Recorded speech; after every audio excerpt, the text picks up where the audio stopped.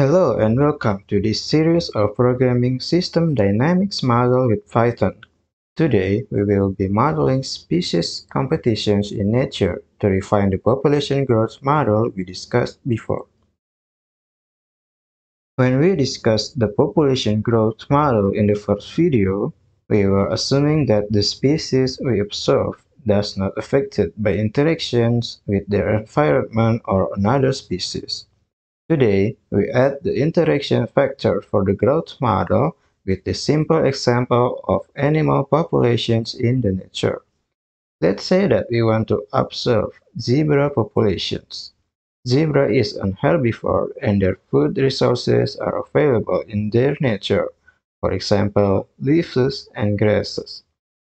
There is another animal that also eat leaves and grasses as their food resources for example, the deals. As they are consuming the same resources, they are competing to fulfill their needs, especially when there is some scarcity and the resources become limited.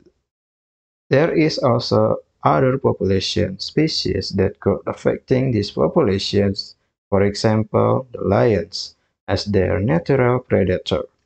The interactions are called predator and prey interactions, and we will discuss it in the next video. So, the purpose of this model is to add competition factor for population growth.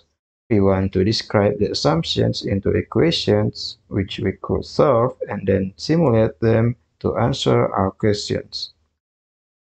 The first assumption is the same as the unconstrained population model is the number of births is proportional to the number of populations. The competition factor is added in the second assumption, that is the number of deaths in each species are proportional to its population and other species population. And here is the proposed model for, let's say, the first species population. By notating each birth rate as B and death rate as D, write the model as dp1 over dt is equal to b1 times p1 minus d1 times p1 times p2.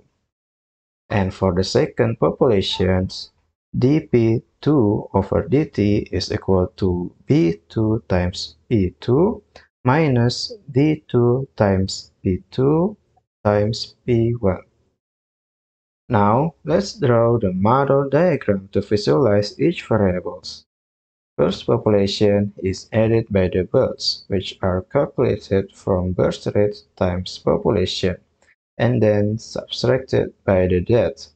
The deaths are calculated from death rate times population for species 1 times the population for species 2. The same are applied to the second populations that the births are calculated from birth rate times populations and the deaths are calculated from death rate times population for species 1 times population for species 2.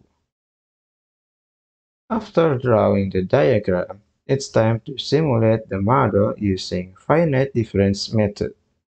As the new value is equal to old value or a change in value, we write the equation as p1 in iteration i plus 1 is equal to p1 in iteration i plus b1 times p1 in iteration i minus d1 times p1 times p2 and then multiply them by delta t. We also write the similar terms for the second population. Now, let's continue to write down our code. Let's say we want to model the white-tip sharks and black-tip sharks populations in an area and they are might feed on the same kinds of fish in a year when the fish supply is low. Writing WTS populations as P1 and BTS population as P2, we want to simulate their populations for 5 months with this known information. As usual, we want to initialize the variables. The simulation length is 5 months. and we define the each population array as P1 and P2. And let's run this code. And here are our code we have discussed in finite difference equations. And here are the plots. Looks like the WTS populations is reducing quickly after two months and the BTS populations is increasing like exponentially after the second month until the fifth month. And we might ask, why does this happen? And let's take a look at the birth rate of each species. Notice that D1 is higher than D2, and that means the white-tip shark is more likely to die in each iterations than the black-tip sharks.